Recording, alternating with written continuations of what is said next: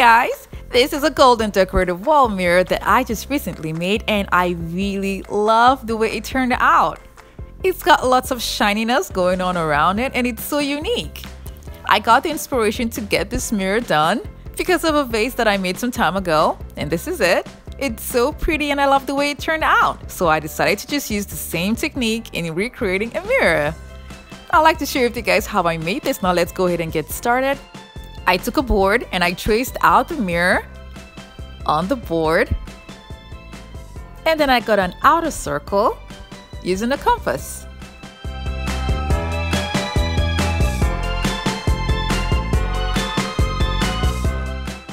I carved out the board and this is what it looks like. And then I spray painted the outer parts of the board with a gold spray paint. And then I glued on a hook at the back before I even started the whole project and glued on the large 14 inch mirror and I glued on the smaller mirror in the middle.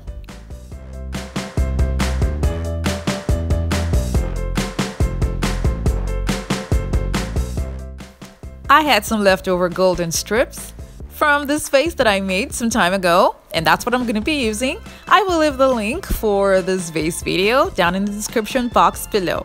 Now all I did was to take a hard poster board and cut out lines out of them and used a pair of scissors and cut them out and folded the strips into two and I cut them down and then I spray painted them gold.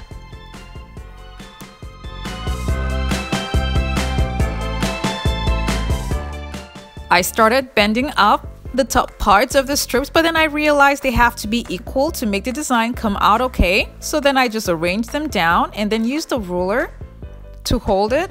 And as you can see, there are lots of irregularities, so I'm going to be using a pair of scissors to cut it down to make sure that they're all of equal length. The height of the fold at the top is about 1 inch.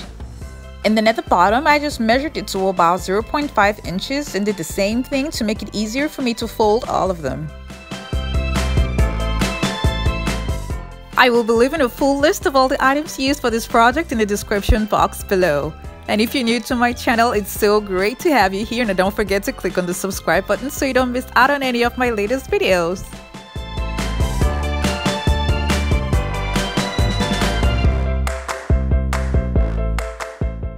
When I was done with that, I started gluing down the pieces to the outer perimeters of the smaller mirror. I used just a hot glue gun, but then you can use a stronger adhesive if you like.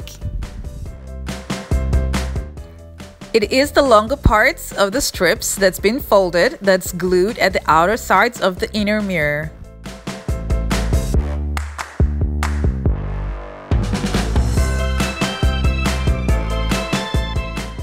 The strips are being glued down directly to a mirror and before you start doing this you have to properly clean down the mirror.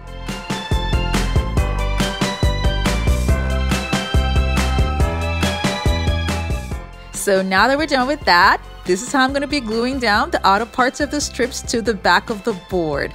You just put a dab of glue at the tip and then raise the board a little bit and glue it at the back. Now this is why the fold that we have there is going to be really helpful because it's just going to form a unique curve or a unique bend that's going to make it easy for the strip that you folded to sit properly at the back of the board.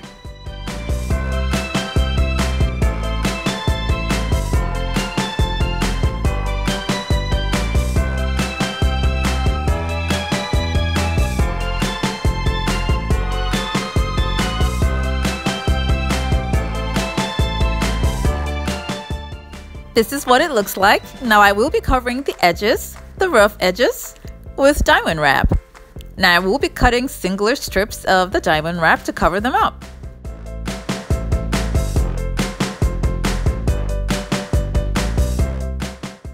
I glue the diamond wrap only at the rough edges and not on the golden strips. Now this is a fabric trim that I got from Walmart a long time ago and that's what I use to decorate and to complete the design.